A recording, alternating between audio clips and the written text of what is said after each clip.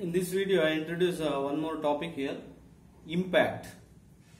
In the beginning, as usual, I introduce uh, some uh, definitions and basic terms that are used uh, throughout the topic and also some important derivations and then I consider problems.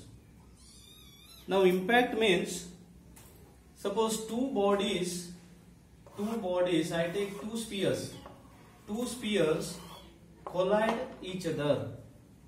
A sphere hits another sphere. Then the state of collision is called impact. State of collision is called impact.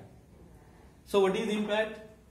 If two bodies collide each other or hit each other, then the state of collision is called impact. And uh, if I take uh, this example that um, is uh, suitable, I think. You know, all of you know the Carrom, Carrom board. You have studied uh, that game, Carrom. Correct? ah? In that Carrom, what you do? Taking a striker, we hit another piece or a coin and we hit in this direction. Correct? ah? In this direction. See, if the centers of these two are along the common normal correct? Ah? common normal. These two are common normal. Then what happens from this point? If this is the striker then this striker hits the piece at this point correct? Ah? at this point. Then what happens at the state of the state of collision is called impact. It is called impact. And the impact are of two types. Impacts are of two types. First one is first one is direct impact. Direct impact. Second is oblique impact. Oblique impact. Direct impact oblique impact. Direct impact means the velocities of the two bodies which collide are along the common before uh, that initial velocity of the two bodies before impact are along the common normal common normal then that is called direct impact I think you followed this one.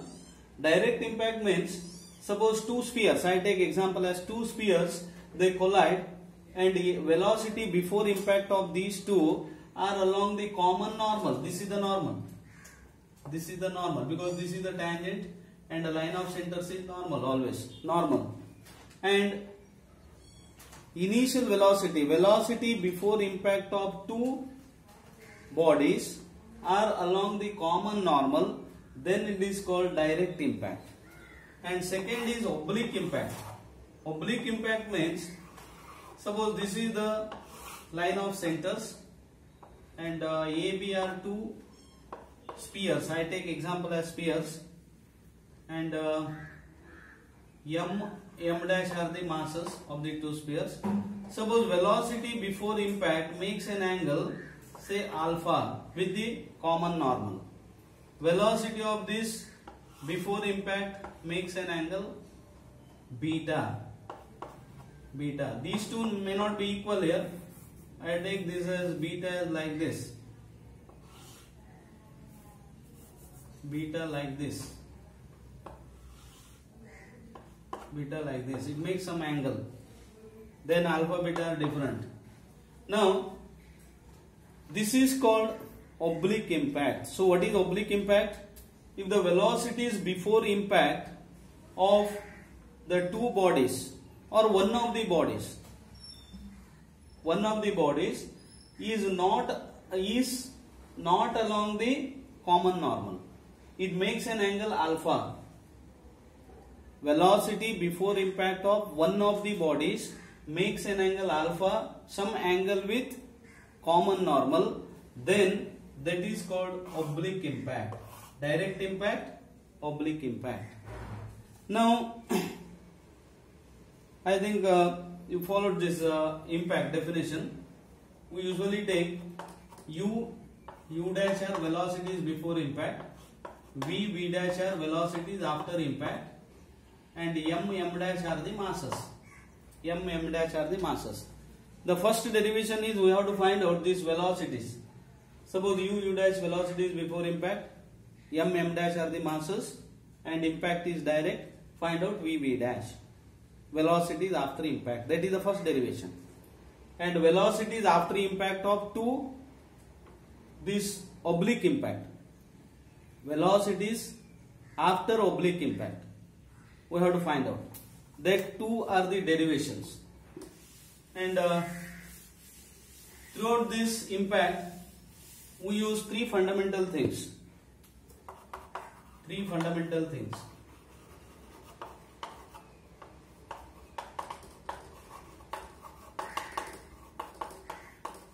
Throughout the topic, we use these three fundamental things. I think definition is clear. What is uh, when do you say that uh, two spheres impact directly, two spheres impact obliquely? When do you say that they impact uh, directly? Impact is direct if the velocities before impact of the two spheres or two bodies are along the common normal. Then we say that uh, that impact is direct. When do you say that impact is oblique? If one of the bodies makes an angle alpha that means velocities of one of the bodies makes an angle alpha before impact then that is called oblique impact. Now what are the three fundamental things of impact? First one newton's experimental law. Newton's experimental law. Experimental law it is called Newton's experimental law. Newton's found by experiment that the Newton's experimental law for uh, it is also called Newton's law of restitution. First for direct impact. Direct impact. Newton's experimental law says like this. Suppose two bodies impact directly. Suppose m m dash are the masses, u u dash are the velocities, v v dash are velocities after impact. Then what does Newton's experimental law states? The velocities after impact, after impact that uh, relative velocities after impact of two bodies is in constant ratio with relative velocities before impact. If two bodies impact directly, then relative velocities after impact of the two bodies is in constant ratio with the relative velocities before impact. Therefore, v dash minus v upon u dash minus u is constant and this is and it is in opposite direction so we take minus c here. What does experimental law says? Mathematically we write experimental law as the relative velocities after impact of two bodies is in constant ratio with relative velocities of before impact and in opposite direction. Therefore, v dash minus v upon u dash minus u is minus c or v dash minus v is minus e into u dash minus u. This E is called coefficient of restitution. Coefficient of restitution or it is called modulus. Modulus of coefficient of restitution. And this constant lies between 0 and 1. If E is 0, then E is called elasticity also. It de determines the elasticity of the body. Coefficient of restitution if E is 0 then that one more important thing is this E depends on only the substances of which these bodies are made. E depends only on the substances of the bodies are made and not on the mass, mass of the body. And this lies between 0 and 1. And if E is 0, it is called perfectly inelastic. Correct? E is 0 perfectly inelastic E is 1, it is said to be perfectly elastic. E is 1, perfectly elastic. and E lies between 0 and 1. 0 and 1. So explain once again what does uh, experimental law states. Newton's experimental law says like this. The relative velocities of two bodies after impact is in constant ratio with the relative velocities before impact of the two bodies and in opposite direction. And that uh, ratio, constant uh, the ratio is uh, the or the constant of that ratio is E and E depends on the substances of the substances of the substances of the bodies and not on the mass of the body and E lies between 0 and 1 if E is 0 then it is called perfectly inelastic. If E is 1 it is it is perfectly elastic. 1 perfectly elastic 0 perfectly inelastic. And usually E lies between 0 and 1 now this is experimental law for direct impact now what is the experimental law for oblique impact? For oblique impact when do you say that two bodies impact obliquely? If the velocities before impact makes an angle say alpha and beta. Are the velocities. After impact the velocities are say theta and pi. Suppose two bodies impact obliquely alpha and beta are the angle made by the velocities before impact. Theta and pi are velocities after impact respectively. Then what does experimental law says experimental law says like this. The relative velocities of two bodies resolved along the common normal is in constant ratio with relative velocity uh, resolve um, just a minute i repeat again. The ratio the what is that? The ratio of relative velocities of the two bodies after impact resolved along any direction is in constant ratio with the relative velocities before impact before impact of the bodies resolved along the same direction. Resolved along the same direction. That is Newton's experimental law for oblique impact. So suppose v v dash are the velocities after impact.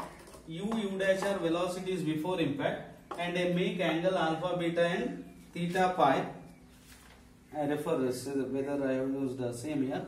Yes alpha beta theta pi uh, are the angles. Then what does experimental law says? V dash cos pi minus v cos theta is equal to minus e into u or uh, u dash cos beta minus u cos alpha this is Newton's experimental law for oblique impact. V dash cos phi minus V cos theta is minus E into U dash cos beta minus U cos alpha. This is Newton's experimental law. So this is the first fundamental thing that we use throughout the study of this impact. Second thing is this is second thing is we assume that the bodies are perfectly smooth here. In case of impact, we assume the bodies are perfectly smooth. What do you mean by bodies are perfectly smooth? I consider the, the uh, impact, direct impact or oblique impact.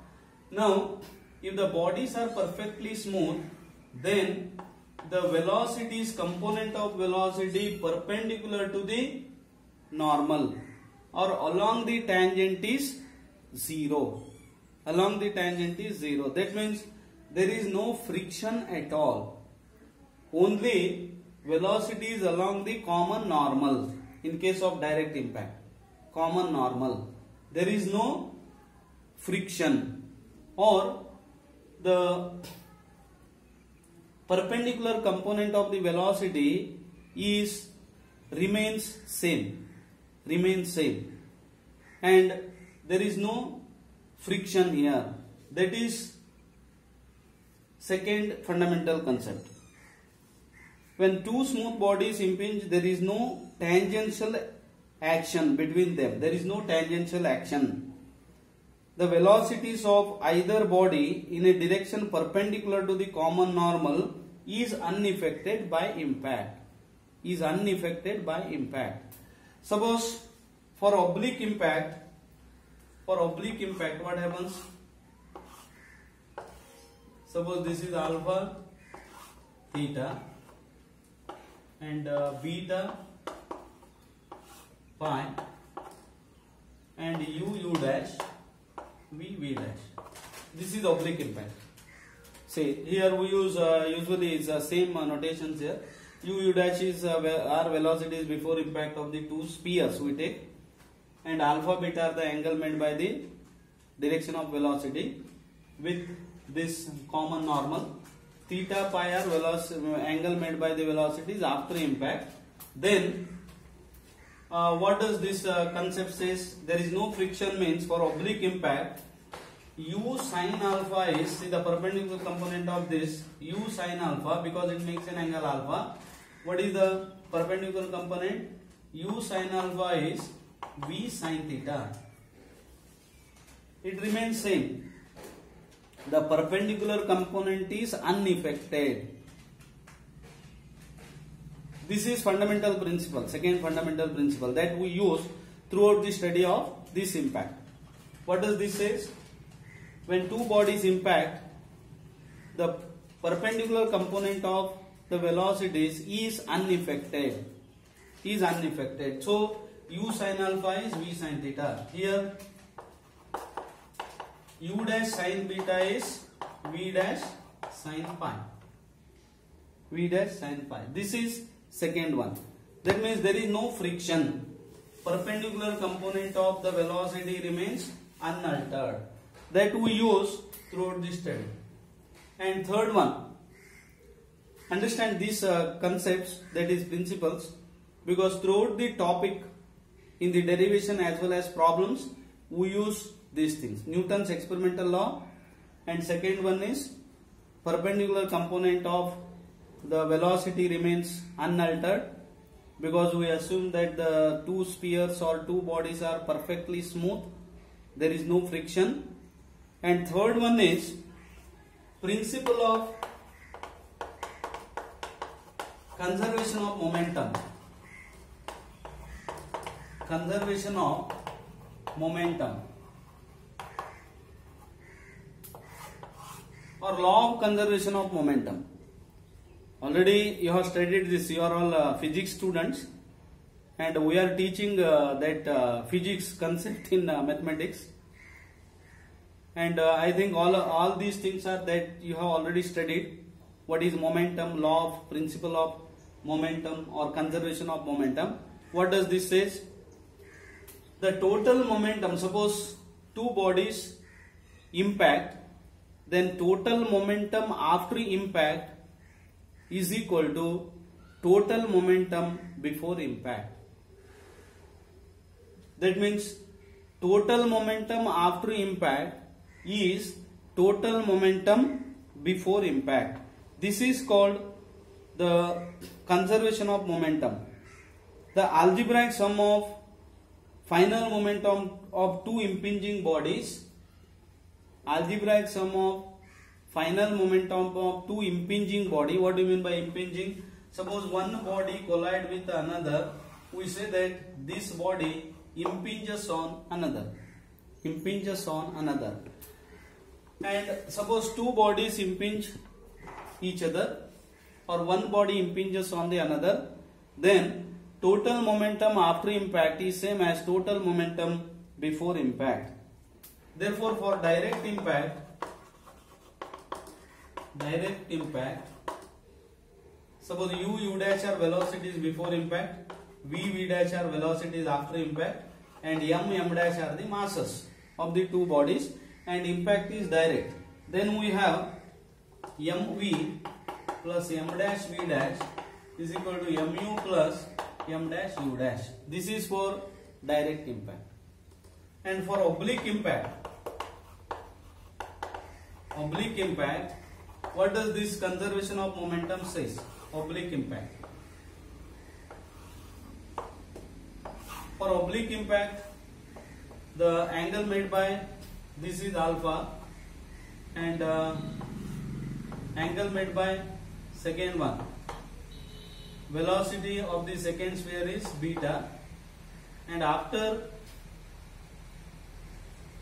after this it makes an angle theta after impact it makes an angle phi m m dash are the masses u u dash and v v dash are the velocities after impact i think this you followed this one and in this case what does conservation of momentum says conservation of momentum is like this mv cos theta plus m dash v dash cos phi is equal to mu cos alpha plus m dash u dash cos beta m dash u dash cos beta this is called conservation of momentum so these three fundamental principles are important what is first one newton's experimental law second one is on uh, perpendicular component of the velocity that remains unaltered because we assume that the bodies are perfectly smooth. And the third one is principle of conservation of momentum. Using these three things we study this topic impact and uh, first is derivation. Uh, for direct impact what is the velocity after impact? And for oblique impact what is the velocity after impact? We derive the expression. And uh, then uh, loss of kinetic energy also we study. Loss of kinetic energy and the remaining thing I take in the next video. Thank you